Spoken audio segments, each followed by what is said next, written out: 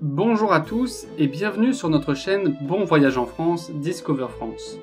Aujourd'hui, nous allons plonger au cœur d'une journée très spéciale en France, le 14 juillet. Connu sous le nom de fête nationale, ou Bastille Day en anglais, cette journée célèbre le concept de démocratie moderne. Alors, que célèbre-t-on exactement le 14 juillet en France et que se passe-t-il en France ce jour-là? Il convient de mentionner que le 14 juillet est un jour férié en France, ce qui signifie que la plupart des entreprises, des écoles et des administrations publiques sont fermées. Cela permet aux gens de profiter pleinement de cette journée de célébration et de participer aux divers événements organisés. Avant de commencer, faisons un retour dans le passé, plus précisément le 14 juillet 1789. Ce jour-là, un événement emblématique de la Révolution française s'est déroulé à Paris. La population française était confrontée à des inégalités sociales et à des abus de pouvoir de l'Ancien Régime ce qui avait créé un climat de mécontentement généralisé parmi les citoyens.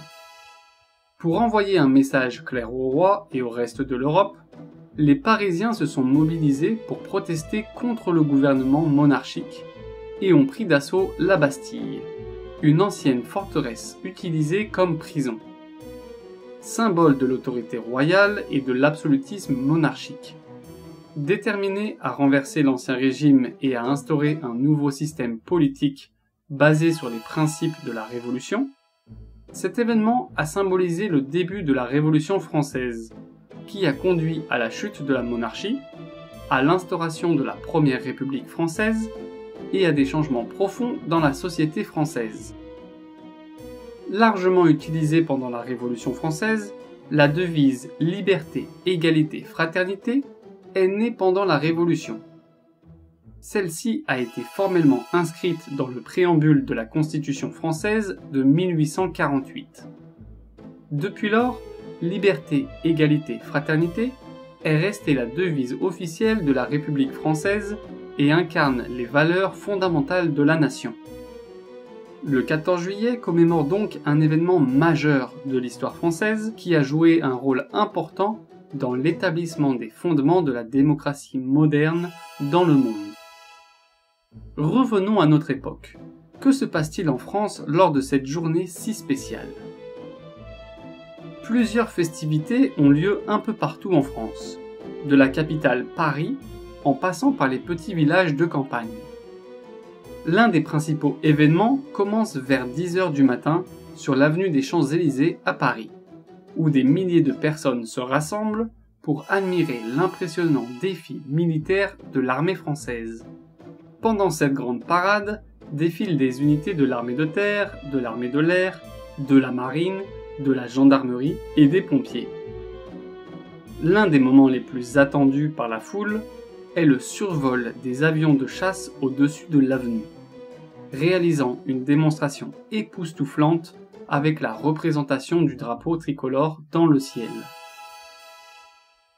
Au même moment, dans de nombreuses villes et villages à travers la France, des cérémonies locales sont organisées pour honorer le dévouement et le courage des forces armées et des services de secours.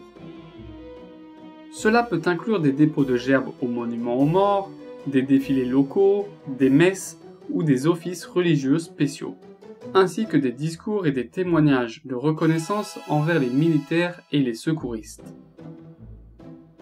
Mais ce n'est pas tout. Les villes et les villages à travers tout le pays organisent des animations et des festivités pour tous les goûts, comme les balles populaires où les gens se réunissent pour danser, rire et profiter de la musique.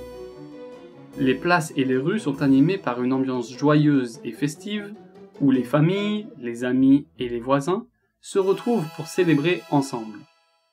Les places publiques sont aménagées en pistes de danse en plein air. Les gens se rassemblent pour danser et les festivités durent jusqu'aux premières heures du matin.